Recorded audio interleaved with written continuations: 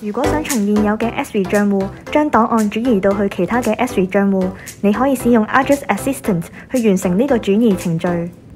首先前往 AWS Assistant 嘅网页，登入你旧有嘅 S3 账户，喺 My Content 嘅页面选择你想转移嘅档案，然后点击 Copy Item，On Add Account 登入你想转移到嘅其他账户，然后点击该账户。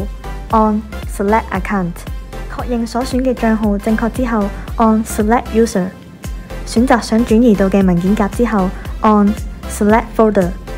最后确认一次选择嘅文件、账户、文件夹正确之后，按 Copy Item。